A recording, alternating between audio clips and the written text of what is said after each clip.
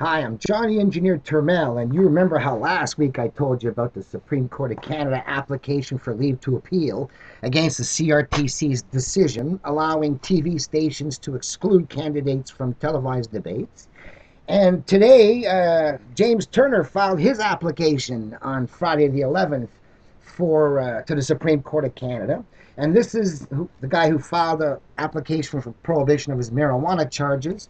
And the Crown, rather than do the normal documentation, slid his appeal into the inmates' appeal court, which didn't have to do the documentation. And even though he protested, the Court of Appeal dismissed his appeal when he didn't show up, which is one of the rare times that an inmate appeal gets dismissed because the guards couldn't find the prisoner. So this is the Memorandum of James Turner at the Supreme Court of Canada, Part 1. In the Supreme Court of Canada, on appeal from the Ontario Court of Appeal, between James Earl Turner, applicant, and Her Majesty the Queen, respondent, notice of application for leave to appeal. Pursuant to Section 59.4 of the Supreme Court Act, take notice that applicant James Earl Turner hereby applies for leave to appeal to the court in forma pauperis from the judgment of Ontario Court of Appeal Justices Stephen Goudge, Robert Armstrong, and Robert Blair, dismissing the application for leave to appeal and inmate appeal due to the inmate not appearing for the hearing. The grounds are that since the appellant was not an inmate, A.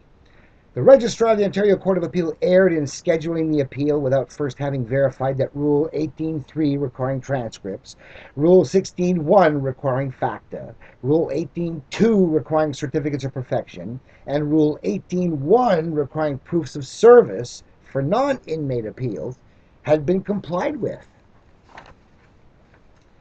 B. The Court of Appeal erred in using the inmate appeal rules. C. The Inmate Appeal Court erred in dismissing the inmate's application for leave to appeal when no inmate application for leave to appeal had been filed by the non inmate appellant. D. The Inmate Appeal Court erred in dismissing an inmate appeal as abandoned because the guards couldn't find the prisoner. Dated at Ottawa on August 10th, James Turner.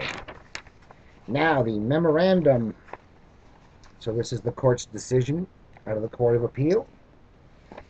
And there it says very clearly in the matter of James Earl Turner, uh, this application for leave to appeal and the appeal by way of inmate appeal uh, are dismissed.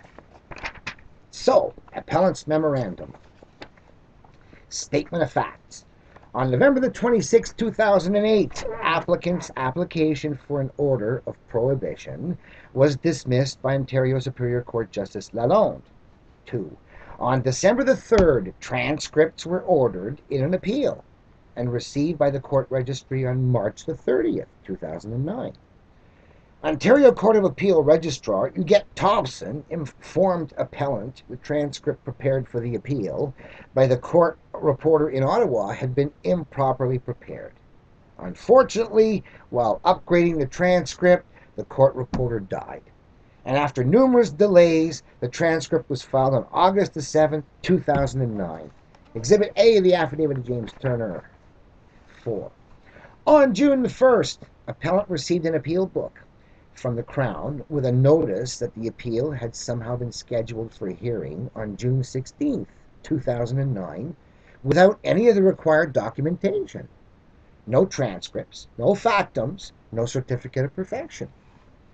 Crown Maureen McGuire explained in her June 5th email, and this is Exhibit B of the affidavit, Thank you for forwarding a copy of Mr. Turner's email to our office. The Crown is opposed to the adjournment requested by Mr. Turner.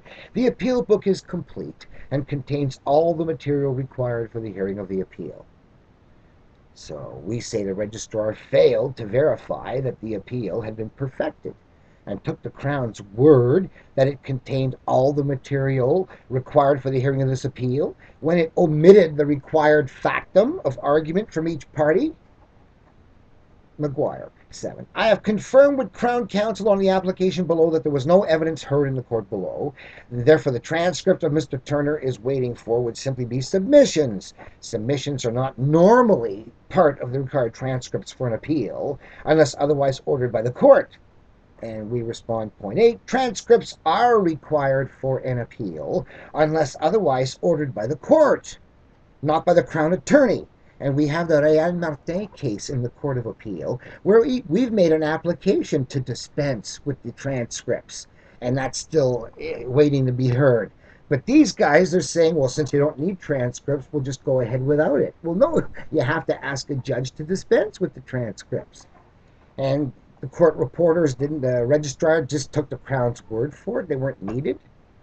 So they're not uh, McGuire, Mr. Turner filed notice of appeal more than four months ago. And 10, we say any delay was due to the death of the court reporter, not due to the appellant. 11. Uh, McGuire, Mr. Turner also asked that his appeal be moved to Toronto, while we have no preference as to whether this appeal is heard in Toronto or in Kingston. Really? I understand that the Toronto list this month is very lengthy and that this matter can more conveniently be heard in Kingston.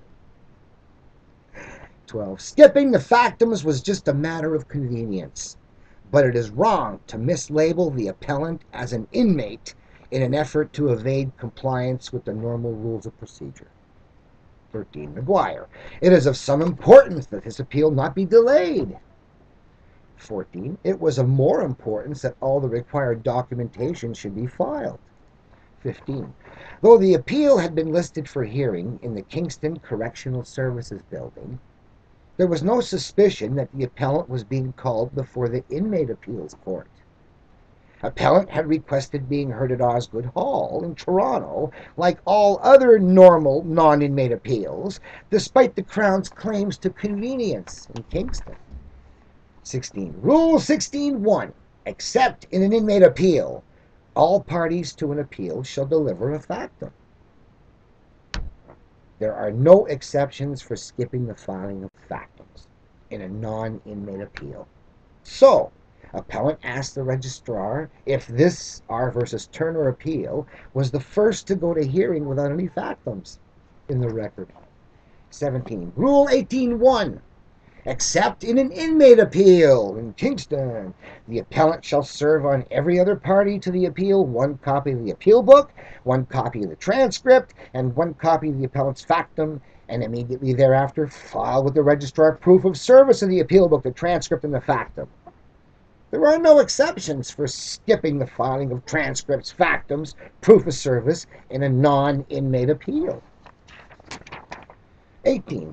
Rule 18.2 the appellant shall file with the registrar two copies of a certificate of perfection, stating blah, blah, blah. Well, it doesn't even say except in inmate appeals. So everybody's got to file a certificate of perfection. Is this the first appeal ever scheduled without a certificate of perfection? Or has the Crown been skipping them for inmate appeals already? 19. Rule 18.3 The appellant shall perfect the appeal within 90 days after the transcripts been delivered to the Court of Appeal. Well, transcripts were mailed to the Court of Appeal on August 7, 2009, leaving appellant until November to perfect the appeal.